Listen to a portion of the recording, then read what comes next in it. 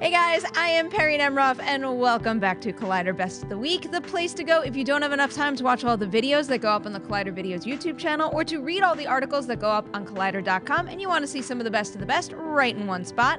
And first off, as always, we're going over to Movie Talk.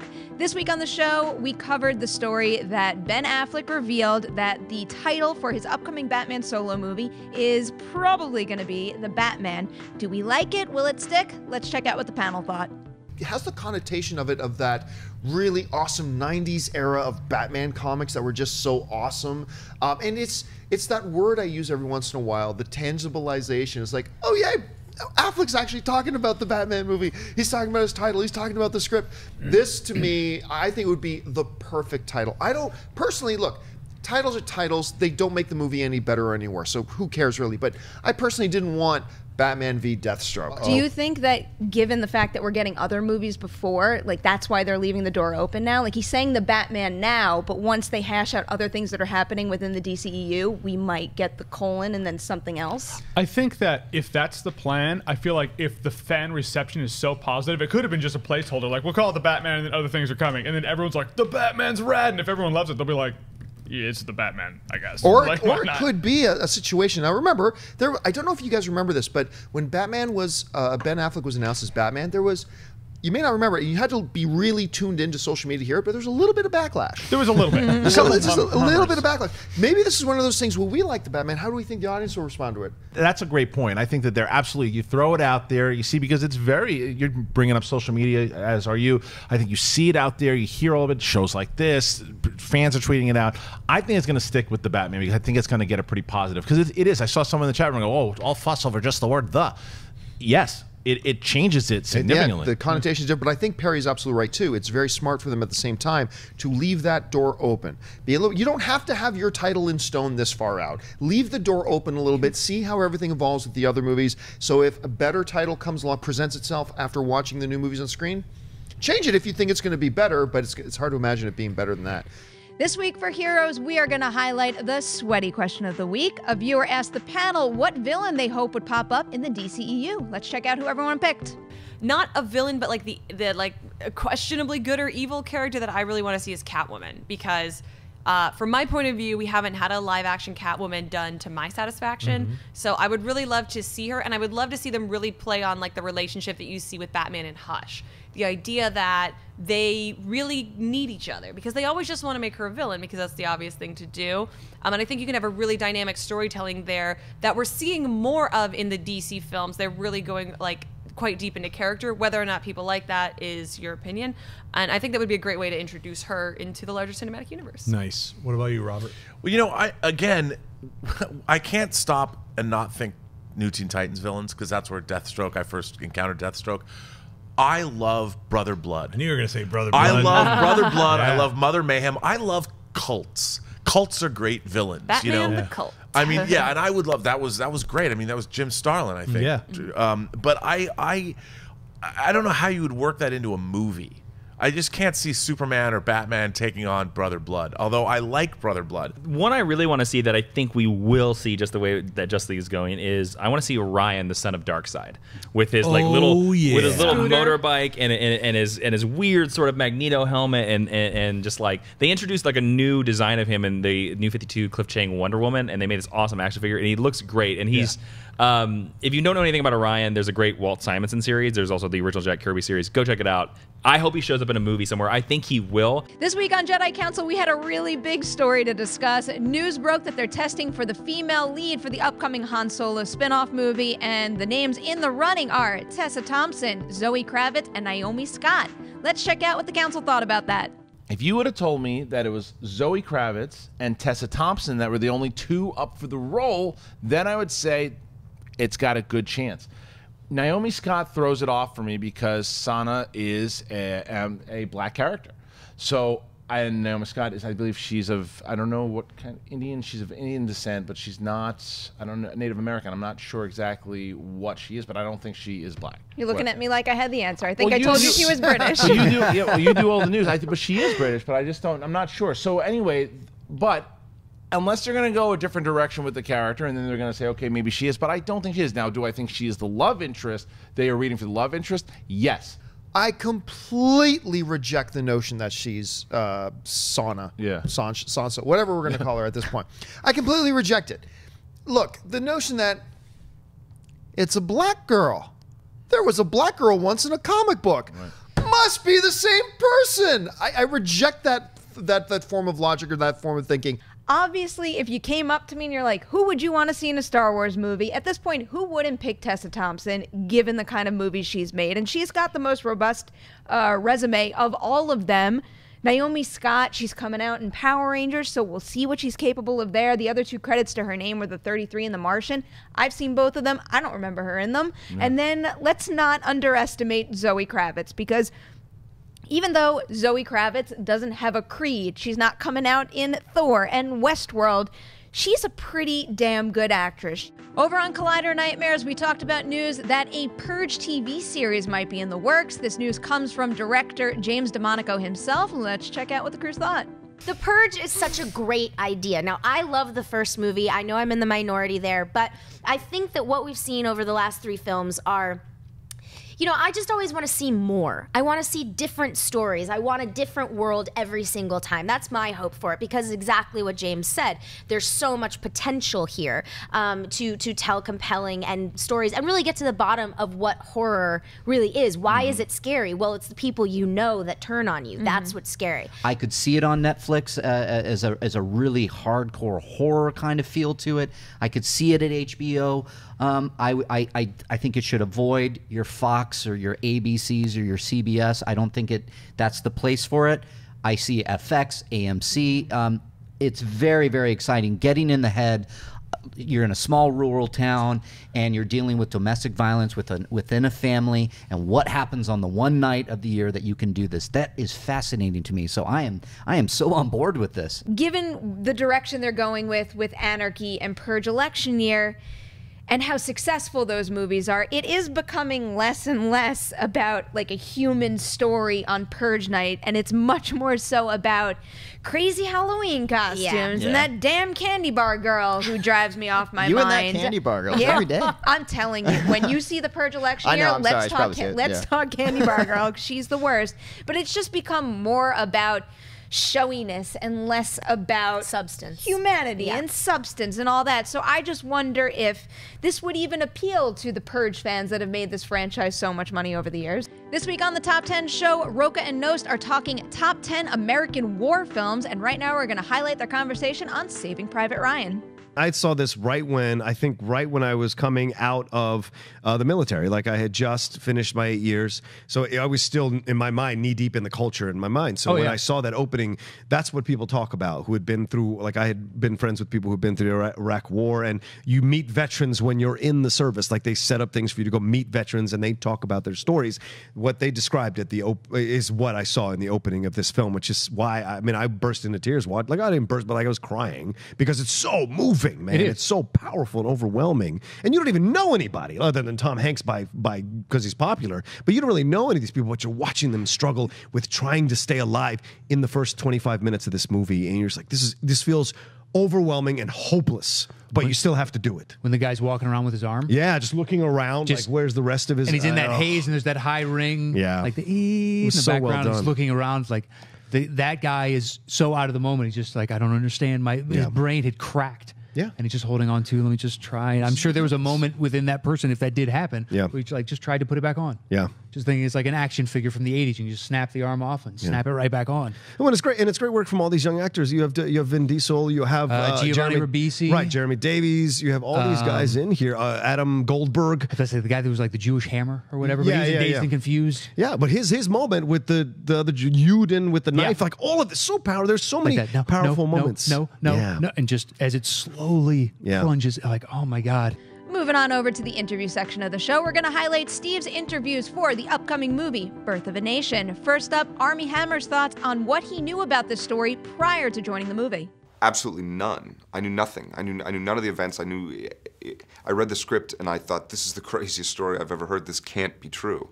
And then I did a little bit of research and found out that it was true. And then thought, why did I not learn this in high school? I took U.S. history in high school. I'm sure you did too. Did you hear about this in high school? I don't remember it. I mean, I don't remember a lot from high school, but I, I, I thought I would remember this at least.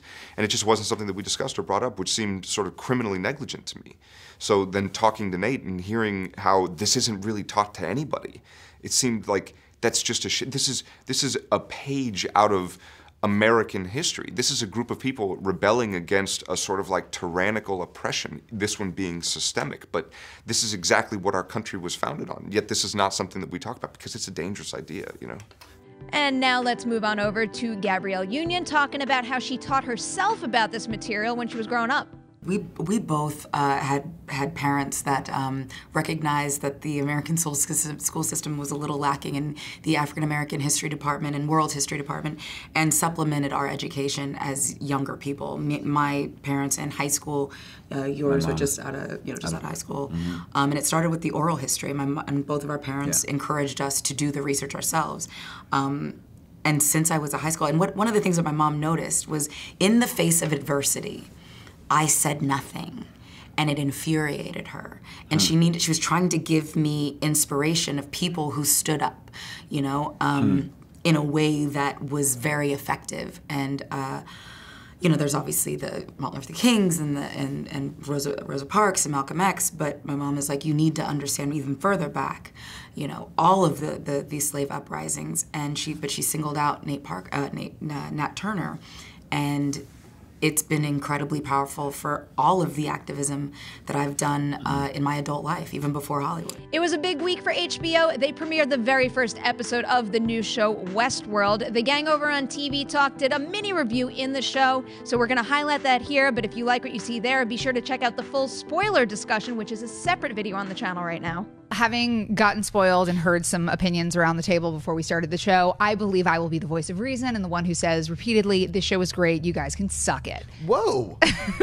just suck it. I didn't say it wasn't great. I'm just saying everybody thinks it's going to be the next Game of Thrones. Oh, and that's like, no. like you said in the text. No. It's like comparing One Direction to the Beatles. I love artificial intelligence conversations, like you know, uh, do androids dream of electric sheep? You know, that was basically the uh, birth Blade Runner and uh, Battlestar Galactica, of course. I, I, I love this is my. I mean, this is this is me. I mean, this is my jam. And not everything needs to be compared to Game of Thrones. Game of Thrones is not the end all be all of all television. It's not even my favorite television show. And people. this is coming from a guy who loves things with rolling hills. I like Game of Thrones, but it's not the no, end this all is be all. amazing. This is everything you need. It's science fiction Mhm. and it's literal white escapism. It is. I mean, this is like, oh, And, and and they throw in Thandie Newton just for a little spice because I love Thandie Newton. Ooh, honey. man. And you're going to get some Thandie naked. Newton. Thandie, we you're going to trust. get some naked Shit ain't Tandy just Newton. overall Whoop, whoop. We This can is a move show on. Mrs. Griffin does not need to watch. Overall thought, Yeah. I liked it. I'm a little confused by some of the casting choices in the show, some of them, but I, I do really enjoy this a lot. Um, I have so many questions, but I'm super intrigued. I love me some James Marsden as well. Heck yeah. Oh my This guy's gosh. dreamy. Love him Guy's so much. dreamy. So I'm, I'm just excited to see where it's going to go. Now let's move over to the Collider.com portion of the show when we get to highlight some of the written features done by the gang over there. First up this week, we're going to kick it off with something from Collider.com comic expert Evan Valentine. In honor of the recent release of Luke Cage on Netflix, he posted a piece titled Luke Cage Villains Explained. So if you want to know more about the characters from the source material, be sure to check that out. Sticking with TV, we're going to move on over to Westworld for a piece from Katie Burt called 17 Questions We Have After Watching the Series Premiere. A good deal of these were on my list, so check out this piece if you want to see Katie's thoughts on any questions you might have. There's also some good discussion going on in the comments section here as well. Now let's switch gears and go to the big screen for a piece on Emily Blunt. She's got Girl on the Train hitting theaters this weekend, so Aubrey Page ranked her 10 best performances, which includes her work in Looper, The Young Victoria, and much more.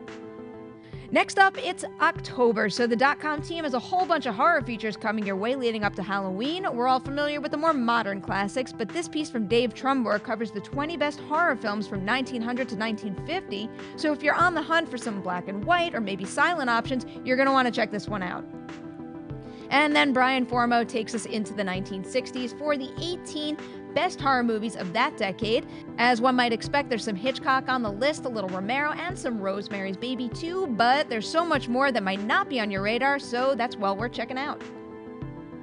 Now it's time for the Schmoedown section of the show, and the first match we're going to highlight is a little Collider show showdown of sorts. We've got Team Heroes facing off against my Collider Nightmares team, Team Wolves of Steel. Wolves of Steel. They have to add the steel to Right. make it sound like they're bringing something to the party. Right. Look, we're heroes. We're not heroes of steel. We're not the woodsmen. We're not whatever. We're just heroes. Heroes. That's all we need to triumph. I'm looking at Robert as the uh, as the wild card in this one. He knows his stuff, but at the same time, he's never played in the tournament or a Schmoedown match before, so it'll be interesting. Yeah, the question is, is he gonna freeze under the lights? Team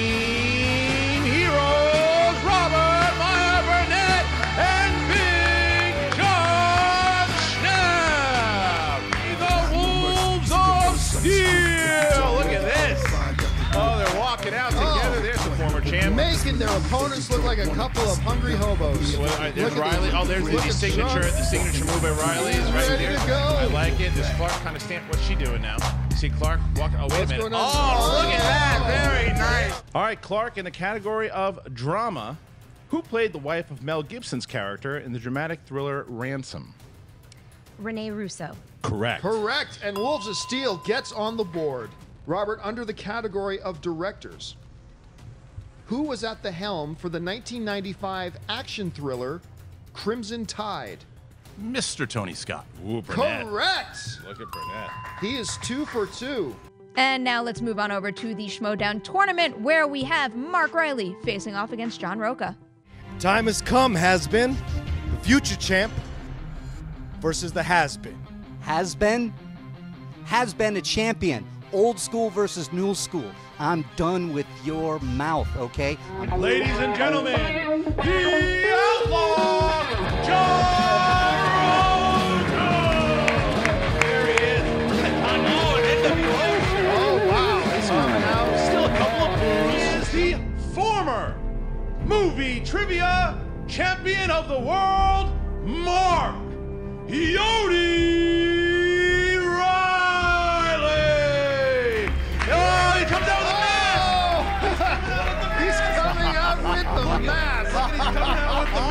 the mask. That's the mask against me. You're gonna need it. Oh, he can't You're gonna need it. Drama. For which branch of service had Michelle Pfeiffer's character serve in Dangerous Minds?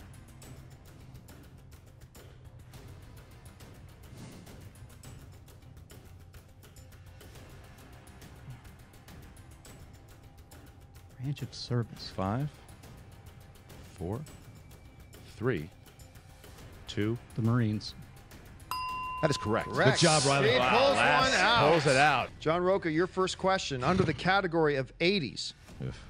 Name the two stars of the 1987 action comedy Stakeout. Oh, Emilio Estevez and Richard Dreyfuss. Correct for one point. There you go. Rocha on the board.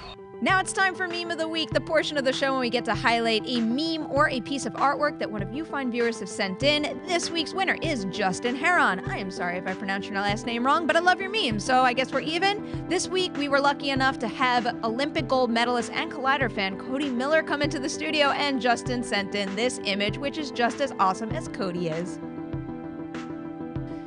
Do you want your meme or artwork featured right here on Best of the Week? It's super easy. All you got to do is pick a moment from one of our shows, make a meme or a piece of art about it, and then send it on over to mailbag at collider.com or tweet it at us using the hashtag Collider Best of the Week. Cody, are they straight? It's like a little. All right, let's do it. At the Collider Video Studios here in Burbank, California, and it's a piratey kind of day. Arr, also here is Kristian Harloff. Post Vegas wearing a pirate hat is like the least that I can Yeah. do. Are you kidding me? Hey guys, sorry we're late today. I had a bad bang day. It takes a lot of time to fix these things, so this was all my fault. That's why we're late. And be sure to subscribe to the Collider Videos YouTube channel to keep up with all the must-know TV and movies and pod- And be sure to subscribe for more on Iron Fist and all of the Marvel Netflix shows. What? What was I saying? Did I say something wrong? The fifth band. the, the fifth fan, got the it, come on. fifth Phantasm movie in the franchise. There it is. Uh, that- I would be wearing a pirate hat too if it wouldn't mess up my bangs. because I Love Dick truly was like just daggers in my eye. Wait, you guys, giggle time. I giggle giggled when time. she read it. Giggle time on, on Griffin. Griffin's just like. Denizen broke his hands in a tragic Twitter accident, made his way all the way out to Japan seeking a mystic in the mountains to find some kind of cure, and he's come back today with some kind of glowing aura around him. I'm not sure what that's all about, but welcome back, Dennis. Yesterday, I tried to open my uh, parking gar- garage door. I read this on yes, Facebook. with my power windows on my car. I was like, pushing and I was like, open. Why? Why isn't the garage opening? All three of them would be very interesting cast against. I always mess up his name. Wait, is it because I'm saying I love Dick? No, no, not at all. Is it because I said I'm not gonna I'm not gonna take it? I love Dick. Hi guys, for Collider News, I'm Perri Nemiroff. My wife loves me. She adores me. She really does. But I've never seen a more stark look of disappointment in her eyes than after I introduced her to Jason Momoa and he's talking to her and he's charming her to death. And then when her eyes went off him back to me, it was like, oh. What I love about Patrick Stewart in particular is that he's powerful and he has swords. He's like, I'm here. Come on, kill me. What are you waiting for? Yeah. it's batshit crazy, but it's a lot of fun. Nice. Perri said the S word. Oh no. We did it. You know what's funny? We did it. The Dominators. The Dominators. I like the denominators better. personally. I prefer dominoes myself. Well, because okay, I'll math be- for I'm me out. is very Sorry, guys. scary. The place to go if you don't have enough time to watch all the shows on the Collider Videos YouTube channel or to read all the articles, go that blah, blah, blah. We got, we got, we got some You're wearing heels. Harloff, Campea. I'm going. I've worn these for every got some shot. Really? Yeah. Try backing up. Giggle time. You're a little something about whoring yourself out. What, like, uh, merchandise. merchandise, merchandise. By myself, dead center in this room, and I had and Ta- Tyler I Perry had- sitting right behind you, breathing on the back of your neck the whole time. They size They have a cat. th- yeah, so size does matter in, in, in their civilization. I'm sorry if I pronounced your name. I took this one film course once, and the guy on it, uh, apparently Mark Reilly just passed out over there. Uh, Did he win? I thought he did. Maybe I. Could I know. wrong. I, could I know wrong. for sure. Don't argue with the gold medal. Yesterday, she was like, "What?" Did you just have a hairball? a little bit. Well, My bad. This is also the studio that did the ridiculous six and the do-over. Oh, here we go. Size Giggle does matter. Size does in matter. their civilization. David, Dave. I'm not going there. Hashtag I love Dick. Slow clap. Jean Claude Van Johnson, guys. Sorry. So good. Sorry, so to. good. Are you guys done? And that's a wrap on this week's episode of Collider Best of the Week. You guys know what to do. Please hit the comment section below and share some of your favorite moments from this week's lineup of shows.